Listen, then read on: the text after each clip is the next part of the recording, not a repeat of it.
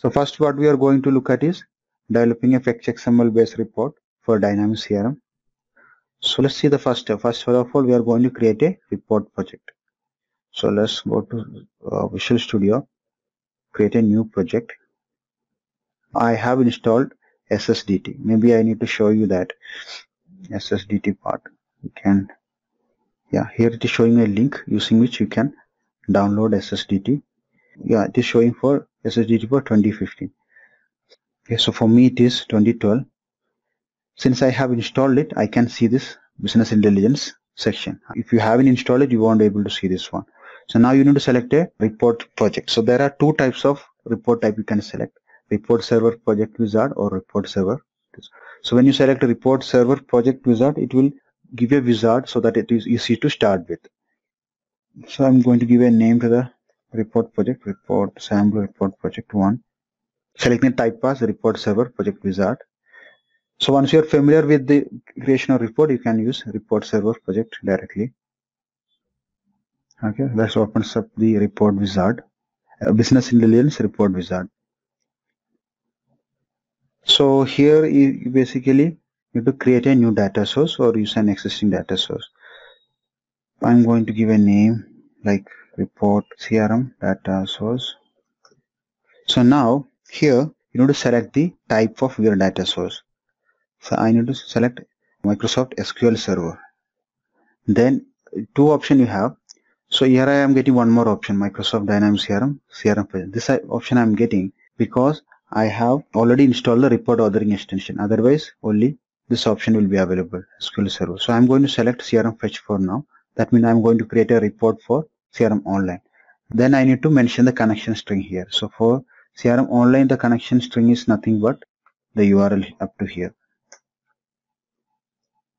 Yeah. So you need to mention the credential here just need to give your credential click next so if there is any error it won't allow you to go further from here so if the connection is successful it will take you to the next step okay cool here I can build a data source first you need to make the data set then I need to mention the data source so I can directly write a query or I can use the query builder so here the query that you are going to build should be fetch XML query. So the easiest way to uh, generate a fetch XML query is using advanced find.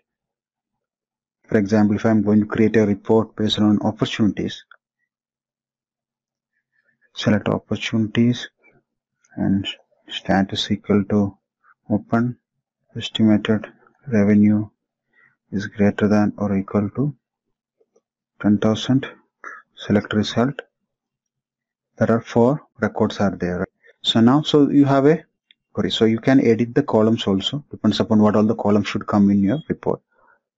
So it is showing topic potential customer estimated revenue status reason. I'm going uh, remove I'm going to add some columns estimated close date then from account I'm going to select account name I added a few fields over here I can add sorting or everything I can do so this is the query we need to run. So I have an option here in advanced find to download fetch XML. So now what is the query I have written? The fetch XML for that one will be downloaded to my system.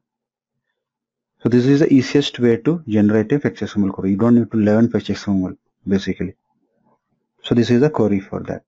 You can see this is somewhat similar to your normal SSRS query, I mean SQL query. So here is mentioned the entity name SQL opportunity, attribute name name, customer ID, estimated value, opportunity ID, all that.